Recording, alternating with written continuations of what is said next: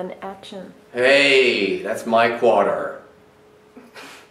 I pushed my son, son off the dock today. Like, seriously. Like, I was mad. You know? Like, child abuse. Good, he was probably being a little shit. I don't know. We used to be so tight. Hmm, I don't know. I think the parent-child relationship is a doomed thing. Great. Is this one of your lectures? How much do I owe for this little nugget of despair? You know, when I was a kid, I convinced myself that I was Johnny Carson's love child. I'm serious. I'm serious. I hated my dad. He was mean. My mom, though, was great. She loved Carson.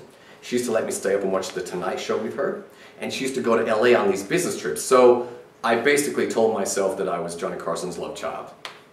Roger, that story is so sad, but kind of sweet and humanizing. Ah. By the way, I saw Steve and he's rushing in the sandwich shop today. She's not that hot. She's kind of horsey.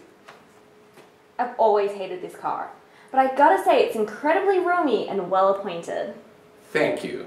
Somehow that humanizes you. Shut up.